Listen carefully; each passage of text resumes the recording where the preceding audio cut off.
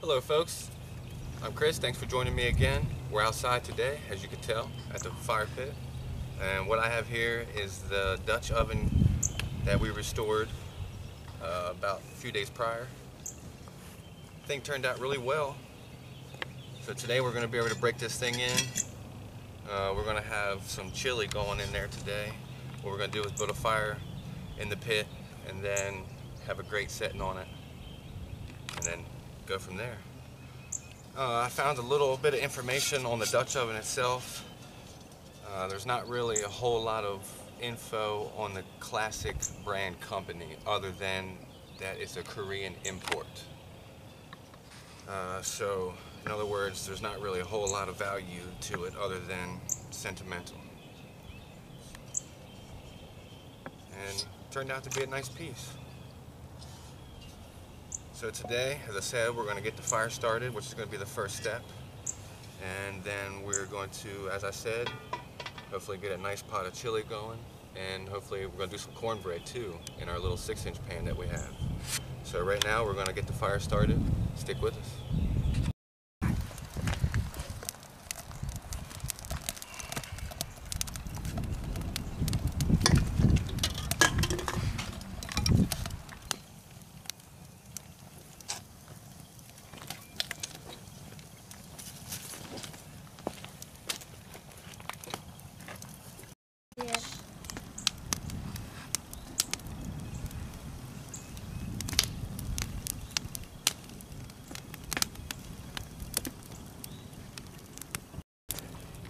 Okay, we're building substantially now. We're just gonna get a good, good cold bed built up before we put the pot on. So a few, few more minutes and we'll be ready to go. Yeah, we just started already. Okay, so we added the grate. We're gonna let that thing burn in. Uh, we're gonna get a little bit of surface rust off of it. This is the grate we're gonna be setting the Dutch oven on. So we're gonna give that, I don't know, a half hour to burn in, and then we should be ready to go.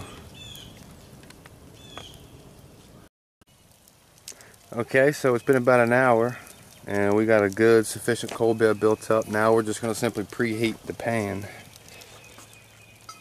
What I'm gonna do is I'm gonna brown the ground beef in this skillet first and then we're going to mix it in with the beans so we'll go ahead and warm the pan for a few minutes and then we'll come back and get the ground beef in there okay so we've been preheating for a few minutes and now we're going to brown the ground beef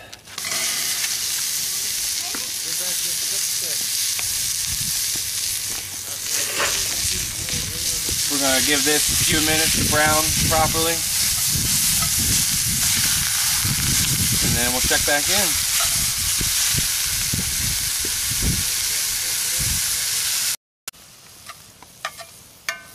Okay, so we're in the browning process. We added another pan and we're gonna give it a few more minutes and we should be ready to go. Okay, so we're preheating the meat. Uh, we're gonna be ready here in a few minutes. What I'm gonna do is I got a white onion and a green pepper Oh! that we're gonna slice up, put in there. So we're gonna get that prepped now while we're waiting.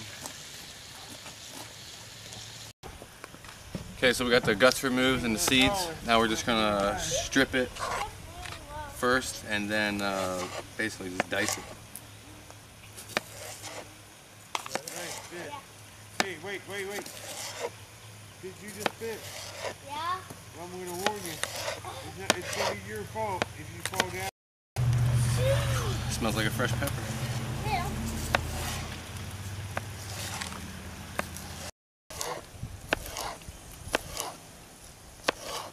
Okay, so there we have the peppers.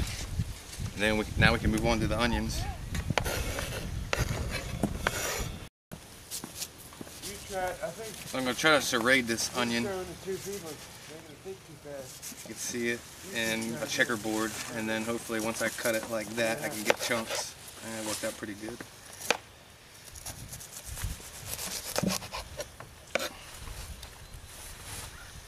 So as I said, just checkerboard it.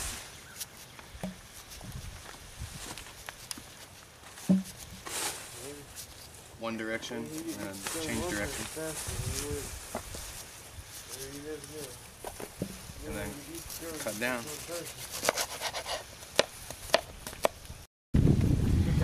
Okay, so now we're good with the onions.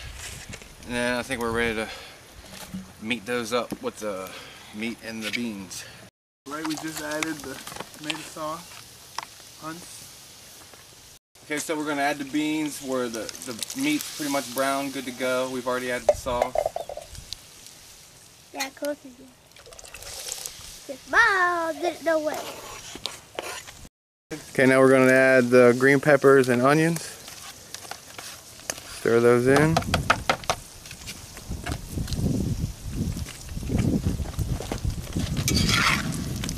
It's delicious. There goes the meat. Okay, we're gonna add uh, McCormick mild chili powder. Okay, we're just gonna stir the chili powder in now.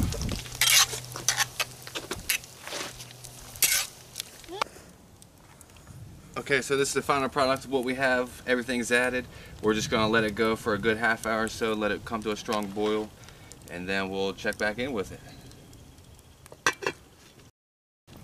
Okay, so it's been 15, 20 minutes. Uh, I think we're ready for a first stir. We're gonna check it, see what we have. We have liftoff, folks. We got boilage. Get out of the way of the smoke. We're gonna stir it up nice. Try to keep it out of the fire if we can. Easier said than done. Feels like the pot's performing well. It doesn't seem like anything's sticking. We'll see how it lasts throughout the whole run here.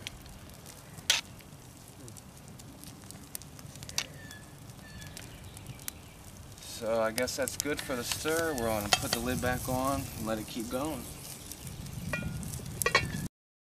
Okay, so it's been about 10 minutes after the first flip, and as you can see, we're going pretty well. So we're gonna give it a good flip, smoke some iron. All part of it. Everything looks like it's going good. Looks like we got good heat.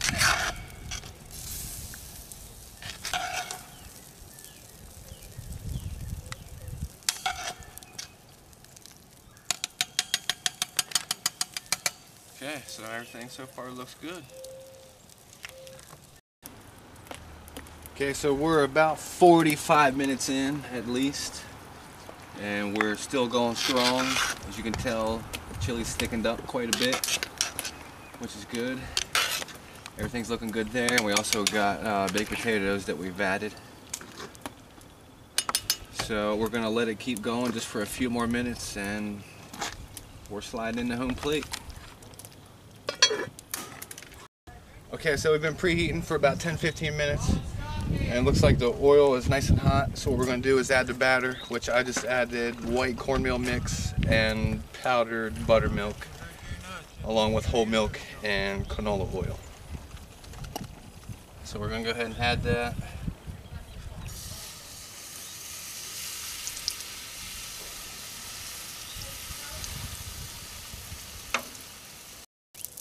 Okay, so we're gonna give that about 10-15 minutes. Once it gets golden brown, we'll check back in. Okay, so let's do a chili update real quick, see what we got going. It's been well over an hour, and as you can tell, it's thickening up very good. So everything's looking good. We're just gonna let the cornbread go. Then we'll be ready. Okay, so it's been well over 10 minutes. We're gonna uh, do a dip test here. See what we got. And I would call it good to go. So what we're gonna do is we're gonna let this sit off to the side. Let that cool down for a minute. Okay, so the, we've let it cool down for at least 10 minutes. And what I'm gonna do is just of scrape it with a knife try to get it out of there. See what it looks like.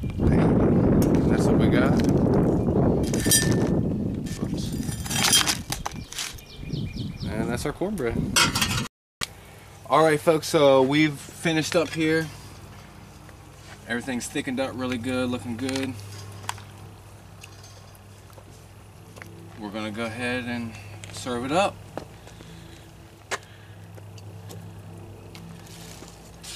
I wish you talked to me like you do the camera. Think about it. Roger, what's up? Tell me when. We need that rock bench down here now. Keep it coming while it's hot. Let's go.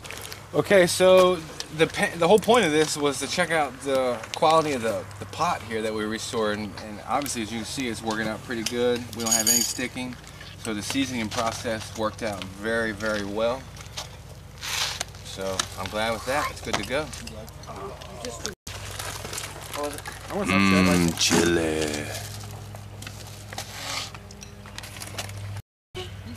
some like chili. Yes, please, wait. That's the finished product with the baked potato. Red red baked potato. Looks wonderful. Okay, this is what we got. The chili's looking really good. Everything thickened up really good. The cornbread turned out really well. And it's a finished product, man. Everything turned out good. The Excellent. the pot turned out extremely well. It performed extremely well. And we got a crowd over here enjoying the chili, so everything looks good. Good Kapow. What do you think, buddy? Um, hey guys, you saw me dancing. Uh, yeah, it's it's good. This is my chili dance. I'm gonna go get my jacket back on. And it's good. Where's the paper towels? Here, give me a paper. Throw them to Throw them. Like The a whole roll, babe. Roll it up like a spiral and just do this. Don't Throw it like a football. Here, Mom. Oh, come undone. I knew it. Mom. If we hit her right in the hands, my hair. You asked me to Jimbo, how's cornbread? simple. Or don't sit next to Jerry. Test it out. How's that batch? Good. You, you figure. Yeah? Just throw that in the fire and see if it works. If it explodes, it's good. Cornbread good? We ready to get this show rolling? Yep, we're ready to get this show rolling. Jim, you're a movie star. How's the cornbread? How's the cornbread? Jimbo, how's the cornbread? Give me a thumbs up or a thumbs down on the cornbread. Oh, eat me. Okay, so everything's done. Everything's been consumed, uh, for the exception of the last little bit. And I just wanted to do the update for the seasoning process of this pot. So if you've been following along with my videos, you've seen that we restored this thing, but a few days ago. It wasn't that long ago. So this is the first break-in, and as you can tell, it's turned out really, really, really well. I'm exceptionally happy with it. There's no sticking to the bottom, no sticking to the sides or anything like that and the overall product was a very very well seasoned pot so I think we're going to get some good use out of this and everything turned out well I couldn't be more happy with with the finished product so that's that for the pot we'll continue to keep the update and see the seasoning process uh, but for now that's going to conclude everything everything turned out well everybody was happy I'm happy with the seasoning process so that's a success Thank you for joining us on this video. Uh, I hope you enjoyed the seasoning process of this pot. I enjoyed the restoration and the whole process. So thank you for joining us and we'll see you next time. Yep. Punch buggy's fun. No, just do right. Except he doesn't say punch buggy, the color, and no punchbacks. He just No, punches. I did And it. then he says he gets to I punch did me it. again. There's So it's like we're just punching each other.